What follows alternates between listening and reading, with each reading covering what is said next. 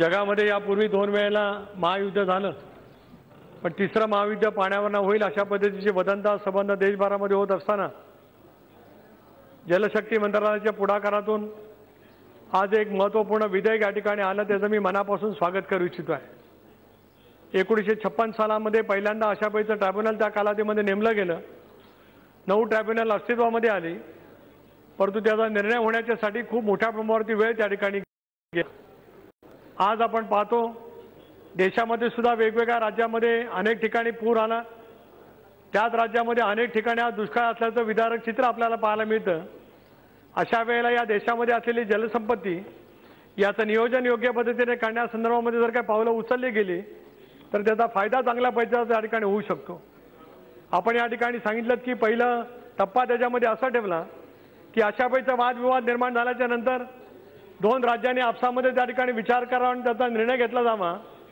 मला आठवतं मी जलसंपदा खात्याचा मंत्री होतो.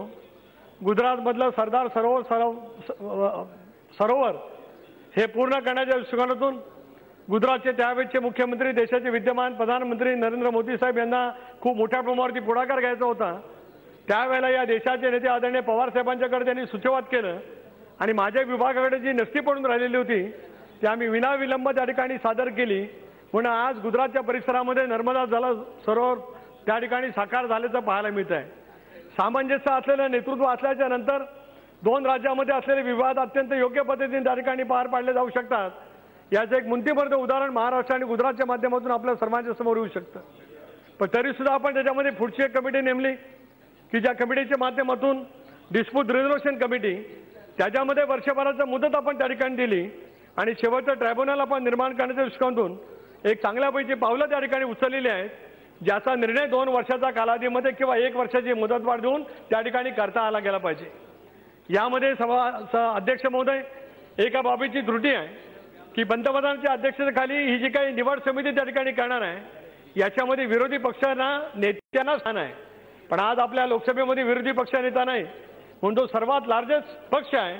त्या पक्षाचा नेत्याचा त्याच्यामध्ये जर काही समावेश केला गेला तर लोकशाहीच्या दृष्टिकोनातून ते अत्यंत योग्य होईल असं माझ्यासारखं याला वाटतं आहे त्या ठिकाणी.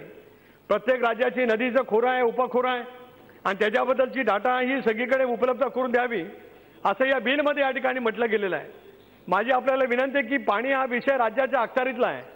आणि त्याच्यामुळे त्या त्या राज्यातलं उपलब्ध असलेलं पाणी त्याच्या उपखोरामध्ये उपलब्ध असलेलं पाणी त्याचा वाटपाचा अधिकार त्या राज्याचा असल्यामुळे ती माहिती जर काही ती मोठ्या प्रमाणात उपलब्ध झाली तर त्याचा दुरुपयोग होण्याची शक्यता कधी नाकारता येऊ शकणार नाही. म्हणून ही माहिती गोपनीय ठेवण्याच्या दृष्टिकोनातून त्या ठिकाणी प्रयत्न केले जावेत.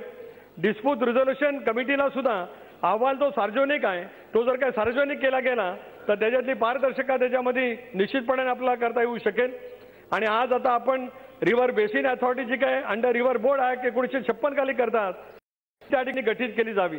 महाराष्ट्रापुरता बोलायचं झालं तर नार पार त्या ठिकाणचं असलेलं पिंजाळ पलीकडचं असलेलं आमची गिरणा नदी या गिरणा नदीचं पाणी गुजरातला देण्याच्या बाबतीमध्ये सामंजस्य करार त्या ठिकाणी झाला.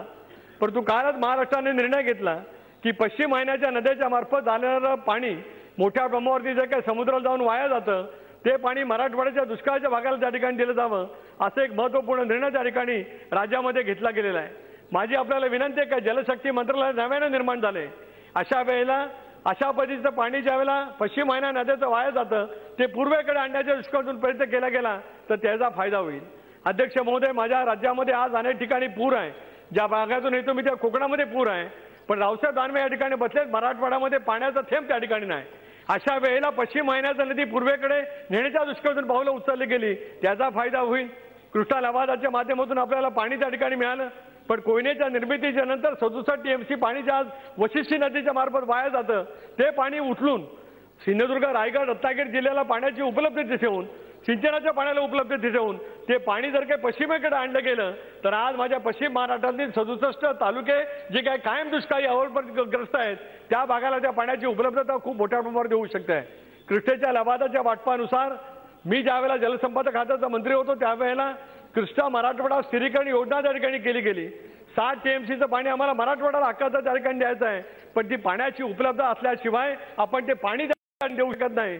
पण पश्चिम वाहिनी नद्याच्या मार्फत दिलं जाणारं वाहून जाणारं पाणी हे जर का या ठिकाणी आणलं गेलं तर त्याचा फायदा त्या ठिकाणी निश्चितपणे होऊ शकतोय. गोदावरीचं उपखोर असेल किंवा आमच्या कुष्ठेचं कोयनेचं उपखोर असेल याच्यातल्या पाण्याच्या बाबतीमध्ये सुद्धा अनेक अनेक प्रश्न त्या ठिकाणी निर्माण झालेत. एक निर्णय मधल्यामध्ये घेतला गेला जातो आहे जो माझ्या रायगड जिल्ह्याच्या दृष्टिकोनातून महत्त्वाचा आहे. मुळशीला टाटाचं धरण आहे. आणि त्या धरणाचं पाणी खाली येतं. रायगड जिल्ह्यामधल्या औद्योगिकरणाच्या प्रकल्पासाठी वापरलं जातं. ते पाणी आता पश्चिमेकडे वळवण्याचा प्रयत्न त्या ठिकाणी होत आहे. वळवण्याच्या अवतीमध्ये हरकत एवढ्यासाठीच आहे की आज माझ्या रायगड जिल्ह्यामध्ये उद्योग नागरिकांसाठी लागणारं पाणी शाश्वत पद्धतीने त्या ठिकाणी उपलब्ध करण्याचा प्रयोग पहिल्यांदा त्या ठिकाणी जावा. त्याचा फायदा मोठ्या प्रमाणात होऊ शकतो आहे. मगाशी या ठिकाणी सांगितल्याप्रमाणे रा- महाराष्ट्रामध्ये उपलब्ध असलेलं पाणी नद्याजोड योजनांच्या मार्फत आपण जे काही करण्याचा प्रयत्न करतात या कामाला मोठ्या प्रमाणावरची निधीची आवश्यकता आहे. आणि जलशक्ती मंत्रालयाची निर्मिती केल्याच्यानंतर अशा पैसे क्रांतिकारी विधेयक त्या ठिकाणी आणलं गेलं ज्याच्यातून दोन दोन राज्याच्या मध्ये झालेले विवाद आणि ज्या विवादातून त्या राज्यात अंतर्गत निर्माण झालेले विभागाचे वेगवेगळे प्रश्न हे सोडवण्याच्या दृष्टीकोनातून एक चांगलं पाऊल त्या ठिकाणी चांगलं केलेलं आहे. याच्यामध्ये लोकशाहीच्या माध्यमातून सर्वांचा समावेश त्या ठिकाणी केला जावा अशी विनंती या ठिकाणी करतोय. या बिलाचं समर्थन मी एवढ्यासाठीच करतोय कारण एकेका या विभाग त्या ठिकाणी मी सांभाळलेला आहे. अशा वेळेला राज्याचे आणि आंतरराज्याचे प्रश्न या माध्यमातून विशिष्ट कालावधीमध्ये जर काही सोडवले गेले तर त्याचा फायदा नक्कीच होऊ शकतोय. म्हणून या विधेयकाला एका बाजूला पाठिंबा देत असताना याच्यामध्ये लोकशाहीमध्ये सर्वात अधिक संख्याबळ असलेल्या पक्षाचा समावेश त्यामध्ये केला जावा अशी आग्रही मागणी त्या ठिकाणी करतो. आपण बोलायला संधी दिल्याबद्दल आपल्याला आभार. धन्यवाद. जय हिंद जय Maharashtra. Thank you. Honorable Member C.H.